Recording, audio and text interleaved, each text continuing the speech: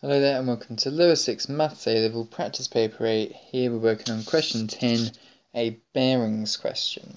The diagram shows the position of three boats, P, Q and R. The boat from Q is from P is 7 kilometers with on a bearing of 327, so that means this bearing round to here, that's going to be 327. So what we'll have left over inside this angle here is going to be 33 degrees. Uh, the other bearing is on a bearing of 41, so that's from P round to R as a bearing of 41. Uh, find the distance of Q to R to one decimal place. Okay, so I'm thinking triangle here. We've got one side, the angle in between, and the other side.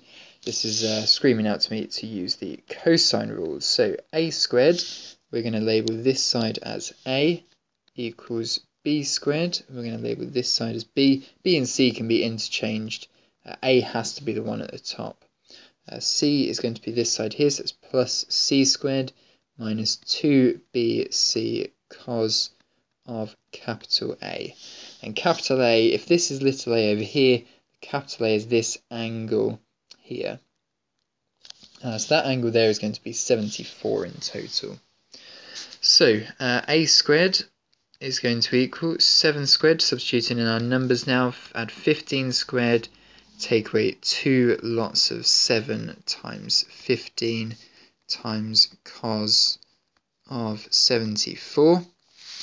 Okay, so then reach for your calculator and type in this expression here. So p squared, or a squared, is going to come to 216 0.11 and square root that a number there using the answer button on your calculator and we get 14.7 to one decimal place. This is our value from Q to R. Okay, great.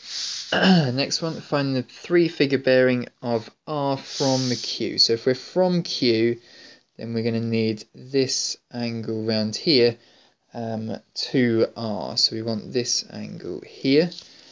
Um, what we can um, what we can get from here is that we will have a z angle here. So we'll have this angle in here of 33. So yeah, just draw that z angle on. If you go down, put draw a line down south from Q, draw in your z, and you'll get a 33 here and a third from the 33 here. Um, is there a possible way of working out this angle here? Well, I've got some bits on my triangle. I've got the opposite side of the triangle, that's C. I've got this part here, that's um, that's capital A, and that's A over there. So I'm thinking maybe sine rule, because I've got an opposite side in its angle. So if I'm finding the um, the angle up here, that's going to be sine of C over little c equals sine A over little a. Um, so sine of C, that's what we want to work out, over little c, that was 15, equals sine of 74 over uh, 14.7 but if I've still got 14.7 in my calculator from before, I'm going to be using the answer button there on my calculator. Be really careful to do that. So from here, I'm going to get that sine of C equals 15 lots of sine 74 over 14.7.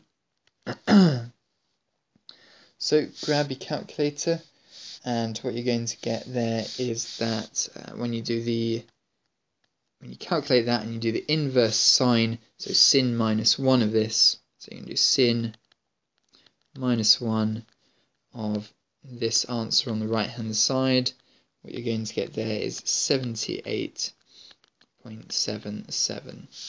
so that's not our final answer so that no, mean now so that means that we now know this angle here we know the C angle here so what we want to do is therefore, if we're working around from north to south on the point Q there, it's 180 degrees take away the 30 degree, 33 degree angle from the Z angle, and take away the 78.77 angle we used before. I would be using the answer button on my calculator here. Uh, we get uh, rounding to a whole uh, a whole number, we get 068 as the bearing of Q of R from Q. Okay, so that's question 10, 10 marks.